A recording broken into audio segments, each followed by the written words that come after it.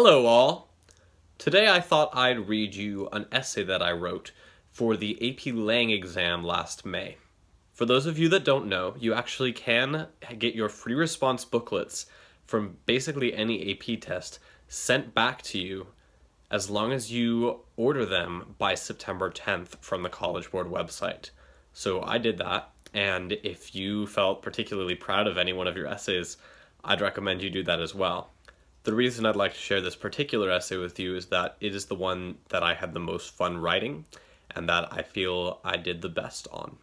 So I'm going to read it for you now, and I hope that you enjoy it. The prompt was an excerpt from a book entitled Empire of Illusion. It was written by Chris Hedges, and we had to corroborate, qualify, or refute his argument. The quote from Hedges' book went as follows The most essential skill in a political theater and a consumer culture is artifice. Political leaders who use the tools of mass propaganda to create a sense of faux intimacy with others no longer need to be competent, sincere, or honest.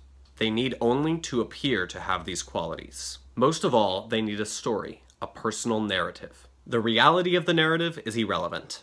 It can be completely at odds with the facts. The consistency and emotional appeal of the story are paramount. Those who are best at deception succeed. Those who have not mastered the art of entertainment are ignored. They become unreal. In an image-based culture communicates through narratives, pictures, and pseudo-drama.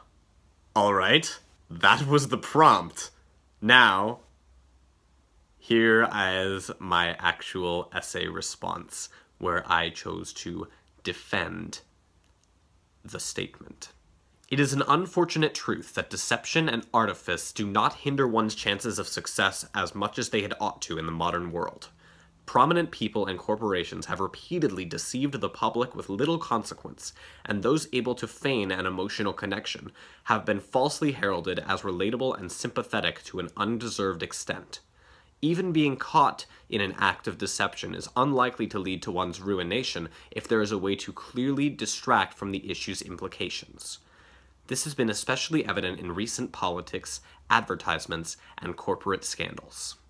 Hedges' assertion that political leaders need to only appear competent, sincere, or honest to be successful in their career seems particularly compelling in the light of the recent 2016 presidential election and subsequent events.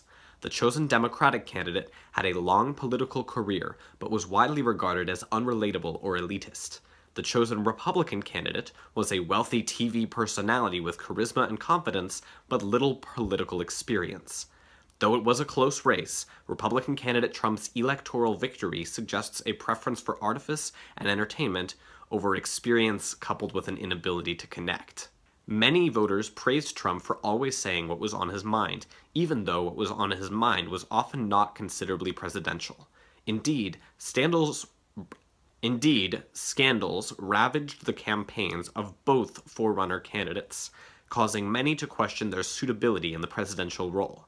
However, scandals impacted Democratic candidate Clinton's prospects far more negatively than Trump's, partially due to Trump's expert ability to change the subject or make a topic seem far more or less important than it is through his strong speaking abilities and confident personality. It has become evident as Trump enters the role of president that many of his bold campaign promises were pure artifice, while others will prove harder to achieve than he presented them to a considerable extent. For instance, Clinton will probably not be locked up anytime soon, Funding for the Mexican border wall is nowhere to be found, and the president faces considerable opposition to his plans for repealing and replacing Obamacare. Still, many Americans remain major Trump fans, heralding his new presidential way of giving speeches and his minor exaggerated victories such as putting Gorsuch on the Supreme Court. This is just a sidebar here. I'd like to point out that this essay was written in May, and that was when Trump's average popularity and approval rating was not below 40%. So, yeah. The trend of entertainment and politics becoming increasingly connected is reflected in the media and in the enormous list of presidential candidates already set to run in 2020. Competence is being increasingly supplanted by confidence and false sympathy. Deception is also increasingly a factor in success in advertising campaigns and other corporate actions. The faux intimacy Hedge mentions in regards to politics is equally applicable to many ad campaigns of recent years, often portraying an attractive man or woman sharing their personal narrative to convince you to purchase or invest in a given product. Ads focus more on emotions than the actual merit of a given product or service, often using fallacious reasoning or conveying practically no information about the product or service itself. This is especially evident in car ads, particularly a recent ad which appears to be telling the story of a girl and her puppy set to inspiring emotional music.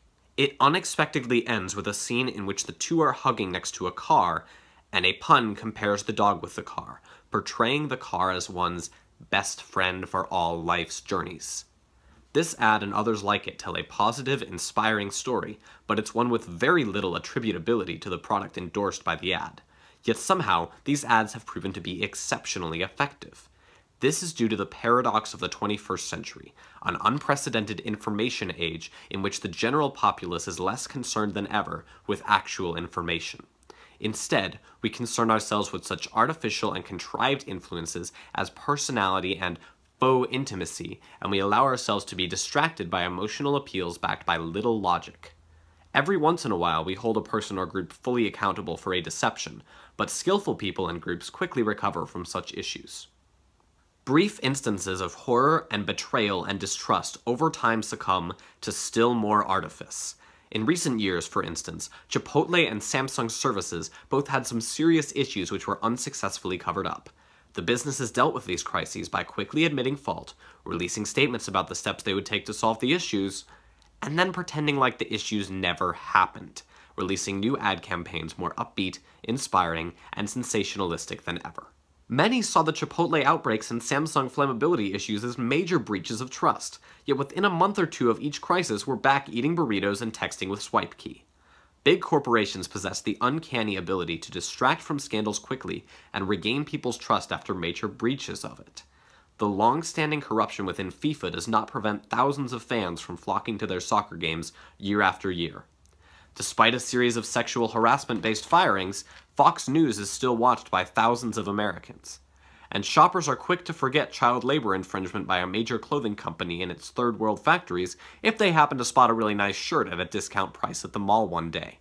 Corporations and politicians alike trick, lie, and deceive their supporters on a near constant basis, but if they cover well and maintain the appearance of confidence, relatability, or general sincerity, they avoid all but the briefest of notable consequences.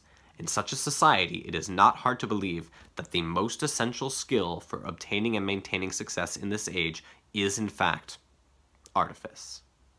Alright, that was it. That was my essay. I hope you enjoyed it. And just in case any of you were planning on committing this essay to memory and plagiarizing it, I would personally not recommend that because this essay is very specifically tied to this prompt which was given by the College Board this year. The prompt is very unlikely to be given again, and I tend to write with a very distinctive voice and tone that does not resemble most of my peers. But I wouldn't expect most of the people who are watching this video to have that kind of nefarious plan up their sleeves, so... As always, thanks for your time.